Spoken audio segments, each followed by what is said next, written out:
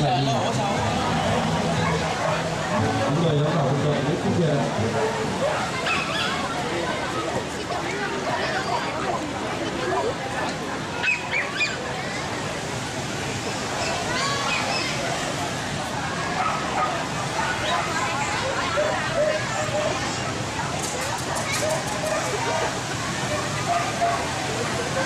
đạt một ngàn con.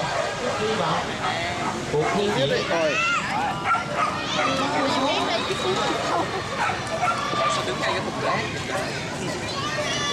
Ờ, Đây này thì là thi ở dạng copy copy thì tức là từ 6 tháng đến 9 tháng thôi. Thì ờ, cha mẹ đây là đều là chó nhập hết. Nên ờ, đây là lần đầu tiên mà bé đi thi. Thì uh, này tên là Bi bé là giống Siberian Husky.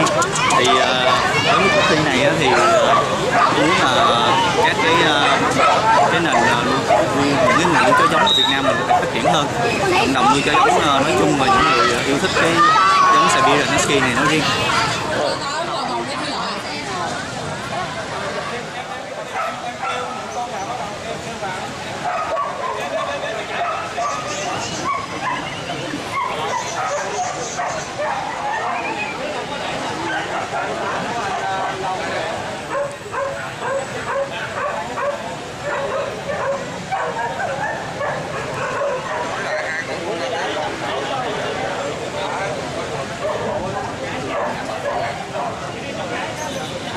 Là tất cả các giống chó sẽ tham dự trong cái cuộc thi này thì sẽ có cái giải chó đẹp nhất là Best in Show rồi các giải phụ như là Baby rồi Puppy rồi Junior tùy theo cái cấp độ độ tuổi của con chó.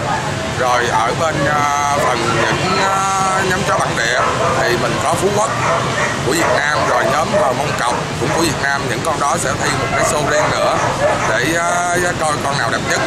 Thì uh, mình thì mình chủ yếu là mình phát triển cái phong trào nhóm chó bản địa. Tại vì những con chó đó là của Việt Nam nên à, mình à, phải công nhận giống nó.